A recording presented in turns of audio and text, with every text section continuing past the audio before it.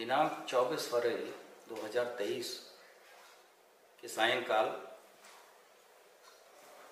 उमेश पाल, जो कि 2005 के राजू पाल,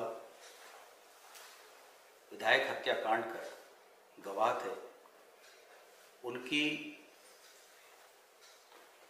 बर्बर हत्या, गाड़ी सवार बदमाशों ने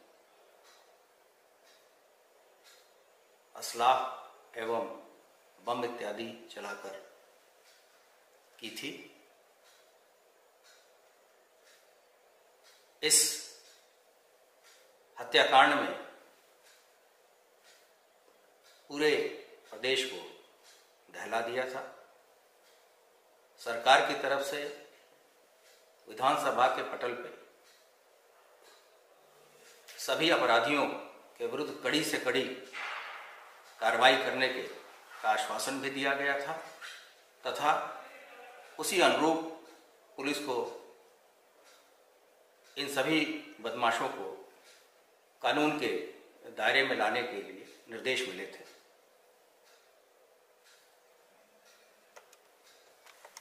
इसी क्रम में आज प्रयागराज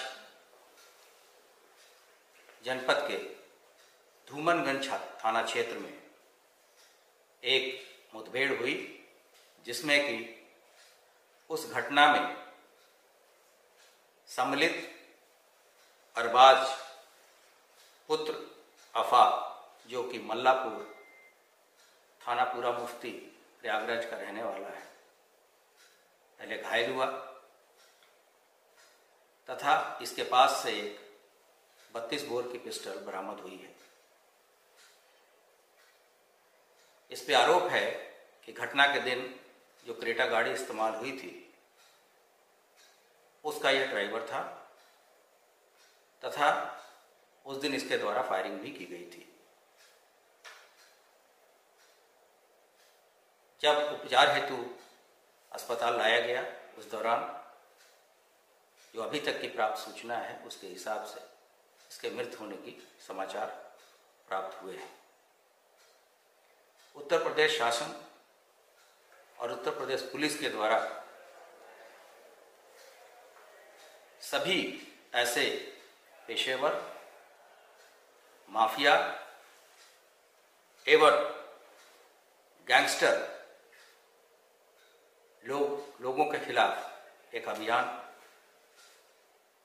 छेड़ा गया है और ऐसे शातिर और पेशेवर व्यक्तियों को संरक्षण देने वालों के विरुद्ध भी, धारा 120 बी के तहत कार्रवाई की जाएगी। जो लोग भी ऐसे लोगों को पनाह देंगे, संरक्षण देंगे, वो इनके कृत्य में भागीदार होंगे। उत्तर प्रदेश पुलिस सबसे अपील करती है कि अगर कोई भी व्यक्ति आपसे संरक्षण मांगे जो कि गलत व्यक्ति है तो इसकी तत्काल सूचना स्थानीय पुलिस को दें। आपका नाम गोपनीय रखा जाएगा। साथ ही साथ पुलिस महानिदेशक उत्तर प्रदेश के द्वारा स्थानीय अधिकारियों को ये निर्देश दिए गए हैं कि इस अपराध में लिप्त सभी व्यक्तियों को जल्द से जल्द कानून के दायरे में लाया जाए, इन पे इनाम घोषित किया जाए और इनाम की राशि विभिन्न स्तरों पर बढ़ाई जाए। अगर आवश्यक है तो मुख्यालय स्तर से भी इस पे इनाम घोषित किया जाएगा और अगर कोई प्राइवेट व्यक्ति इसकी सूचना देता है तो इनाम की राशि उस प्राइवेट व्यक्ति को भी दी जाएगी।